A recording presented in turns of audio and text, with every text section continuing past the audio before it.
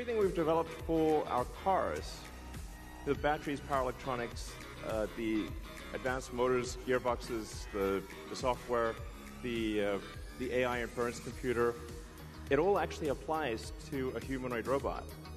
It's the same techniques. It's just a robot with arms and legs instead of a robot with, with wheels.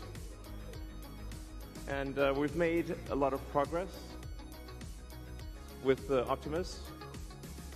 And uh, as you can see, we, we started up with someone um, in a robot suit, uh, sort of down, and then we've progressed dramatically year after year. So if you extrapolate this, you're really going to have something spectacular, something that anyone could own. Um, so you could have your own personal R2D2 C3PO.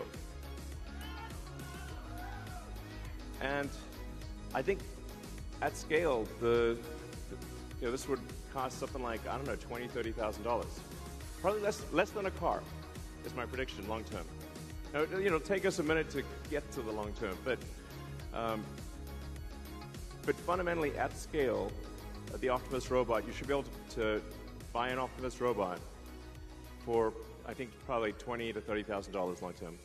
So, and, and, and what can it do? It can it'll be able to do anything you want. So it can um, be a teacher, babysit your kids. It can walk your dog, mow your lawn, get the groceries, just be your friend, serve drinks, um, whatever you can think of, it will do. And yeah, it's going to be awesome.